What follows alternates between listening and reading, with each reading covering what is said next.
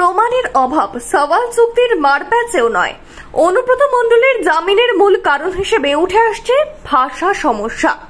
শুক্রবার দিল্লির রাউস অ্যাভিনিউ আদালত গরু পাচার মামলায় জামিন দিয়েছিল তৃণমূল নেতা অনুব্রত মণ্ডলকে। আজ আদালতের লিখিত নির্দেশ অনুব্রত মণ্ডলের আইনজীবীদের হাতে এসেছে।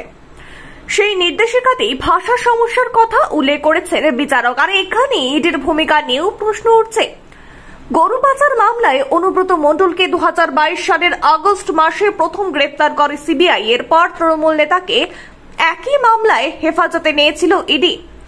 সিবিআই মামলায় আগেই জামিন পেয়েছিলেন বীরভূমের তৃণমূল সভাপতি, অর্থাৎ তৃণমূল জেলা সভাপতি। শুক্রবার ইডির দায়ের করা মামলাতেও অনুব্রতর জামিন মঞ্জুর করে আদালত।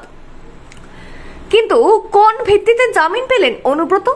আদালতের নির্দেশিকায় উল্লেখ করা হয়েছে, গরু পাচার মামলার সাক্ষীরা ইডির কাছে বাংলায় বয়ান দিয়েছিলেন। কিন্তু দীর্ঘদিন সময় পেয়েও ইডি নাকি সাক্ষীদের সেই বয়ান বাংলা থেকে ইংরেজিতে অনুবাদ করতে পারেনি। ইংরেজিতে নথি না থাকায় বিচারও শুরু করা যায়নি।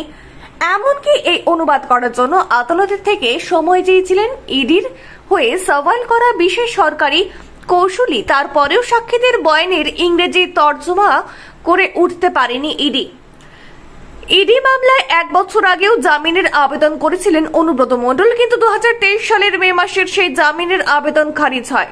তারপরে গত এক বছরও ইডির মামলায় বিচার শুরু হয়নি। বিচার শুরু হলেও তাতে লাগবে অনেক সময়, আর সেই কারণেই কার্যত জামিন মঞ্জুর হলো অনুব্রত মণ্ডলের।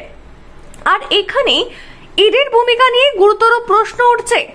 অনুব্রতকে জামিনের নির্দেশ দিতে গিয়ে দিল্লির প্রাক্তন উপমুখ্যমন্ত্রী মনীষ সিসেদিয়ার জামিনের মামলায় সুপ্রিম কোর্টের পর্যবেক্ষণেরও উল্লেখ করেছেন বিচারক। তবে জামিন পেলেও শনিবার তিহার জেল থেকে মুক্তি পাননি অনুব্রত মণ্ডল।